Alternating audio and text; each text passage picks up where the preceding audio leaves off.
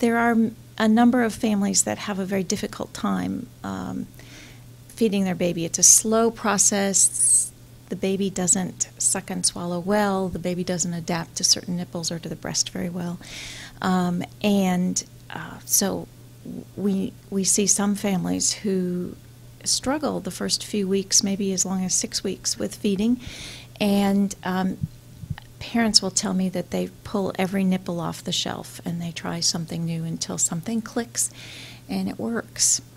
Um, we're not entirely sure that that's a phenomenon of a large tongue. It, it may be that the large tongue contributes to that.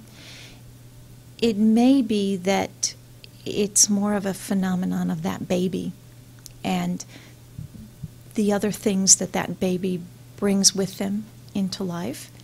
Breathing is one of those things. Um, many people are concerned about the airway in the newborn infant, and certainly if a large tongue um, is also occluding the throat in the back, we, we see the tongue out front, so we think of the tongue as being forward.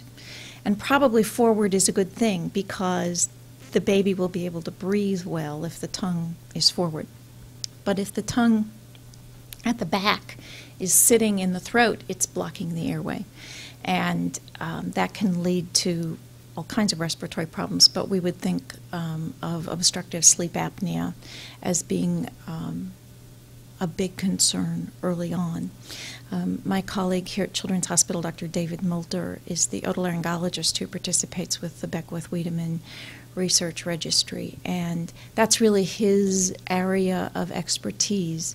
Um, and he will be, I'm sure, the first to note that um, when there are breathing problems in a, in a child with Beckwith Wiedemann syndrome, um, it's, it's very important to look beyond the tongue as a cause because it's entirely possible, again, that the baby has brought with them into life other things than just the large tongue. Um, things like uh, tracheal stenosis or tracheal laryngomalacia. There are, there are other things that can be associated with respiratory problems, and all of those have to be ruled out before you blame the tongue immediately. One of the difficulties with that really large tongue is that that's what we all see. And for the care provider who's not um, who's not familiar with Beckwith-Wiedemann syndrome or has never seen a baby with an enlarged tongue before, um, I think it can be easy to panic and go, oh my goodness, a large tongue, we're going to have speech and feeding and breathing problems. And um, fortunately, uh, the children with Beckwith-Wiedemann syndrome have taught us that that's not necessarily the case, and we need to look for other things. One of the things that we've learned in through the registry and through the years working with the craniofacial team is that um, probably more than half, right now it's looking like about, well, a little over 60% actually of children with Beckwith Wiedemann syndrome will never need speech therapy, whether or not they have their tongue reduced. Um, the neurologically intact baby seems to do just fine with a big tongue, and that's true for feeding as well as for speech. Um, tongue reduction surgery, we have learned, will not cure a speech problem that requires speech therapy. It will not cure a feeding problem that requires feeding therapy.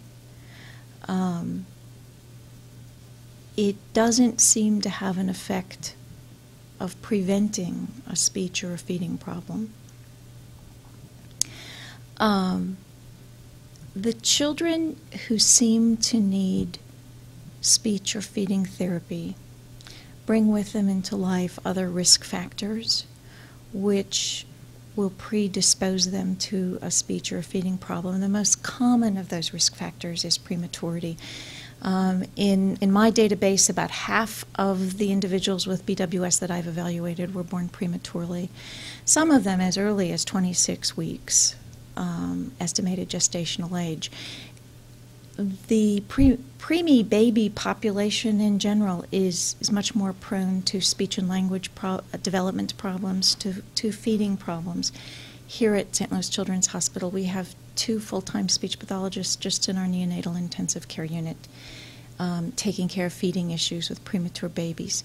Premature babies are referred to early intervention programs for early monitoring because we know they're at risk for speech and language problems. And in fact, prematurity is the most commonly associated risk factor in the BWS population of children who end up requiring speech or feeding therapy or both. Um,